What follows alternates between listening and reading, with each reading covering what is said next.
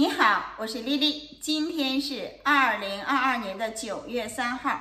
今天跟大家聊一聊，看看中国人看重的“家丑不可外扬，子不嫌母丑”，为什么最后却害了自己？中国人一直有句话叫“家丑不可外扬”，意思是家庭内部发生的问题需要自己内部解决，给外人说了会遭到算计或者耻笑。还有一句话叫“子不嫌母丑”，就是孩子不能因为自己母亲相貌丑而不满。这在家庭生活中或许有一定的道理，但是在中共的统治下，他已经给中国人洗脑，说成祖国是母亲，把中共统治下的中共国比喻成母亲。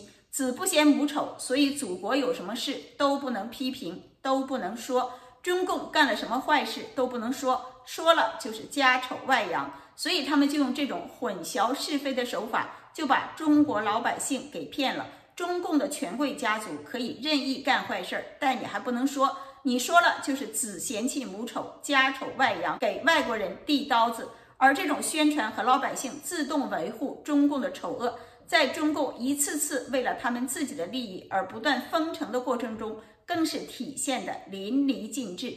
家丑不可外扬的印记深深烙在很多老百姓的灵魂之中。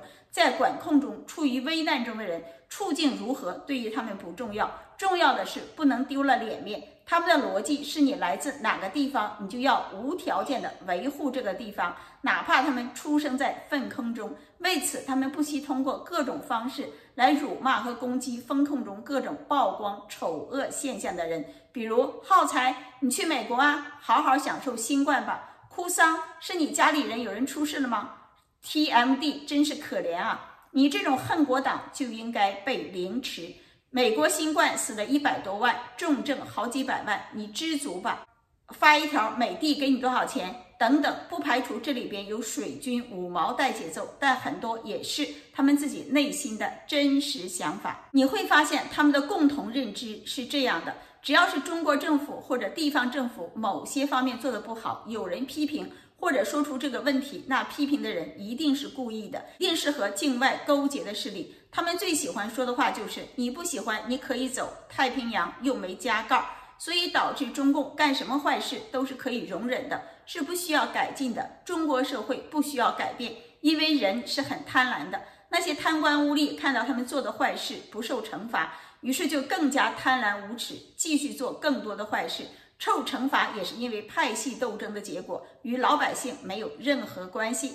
最后的最后，就变成了中共对中国人管控越久，越能激发老百姓的感恩之心，歌颂之声也就越发自肺腑，越嘹亮动听。而且这是他们真挚的情感表达。这个在中国的北方越发的体现明显，所以最后中共就一点一点的把中国拖回到了北朝鲜那样的国家，而老百姓还认为他们的生活非常幸福，别的国家都是水深火热，所以盗国贼家族就可以更加肆无忌惮的贪污捞钱换器官了，而老百姓的生活越加悲惨，洗脑到极端的情况就是无条件相信政府说的话，别的普通人发出的信息就是造谣。八月二十九日，成都一个 ID 为“热带雨林”的人在微信群里告诉大家，称成都可能要静态管理了，并且给出了五加二的方案，即成都五个主城区加天府新区、龙泉驿要封。八月三十日，成都警方通报，